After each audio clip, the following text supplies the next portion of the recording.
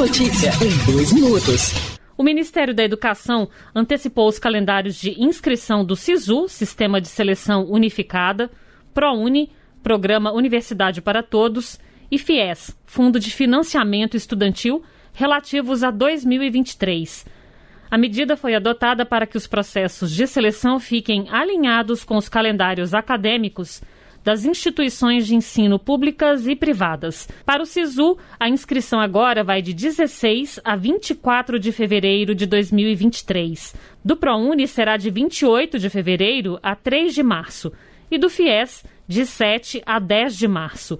O Ministério da Educação vai informar os quantitativos de vagas na primeira edição de 2023 dos três processos seletivos em data mais próxima da abertura das inscrições.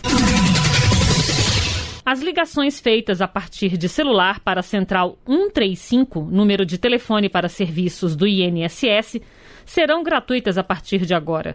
Segundo o órgão, a medida foi tomada após a assinatura de contrato com a operadora Claro, nessa quinta-feira, dia 22. Antes, apenas as ligações a partir de telefone fixo não tinham custos. O benefício valerá para usuários de todas as operadoras. Por meio da Central 135, é possível fazer agendamentos e ter informações sobre benefícios do INSS, dentre outros serviços.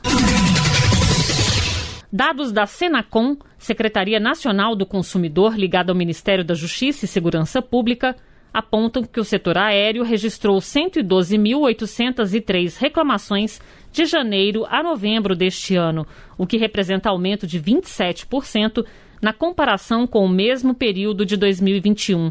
Segundo números da plataforma consumidor.gov.br, os principais problemas relatados foram dificuldade ou atraso na devolução de valores pagos e reembolso e cancelamento de voos. Consumidores que se sentirem lesados em qualquer relação comercial de compra e venda ou de prestação de serviços podem acessar a plataforma da Senacom em www.consumidor.gov.br da Rede Nacional de Rádio em Brasília, Lana Cristina. É notícia em dois minutos.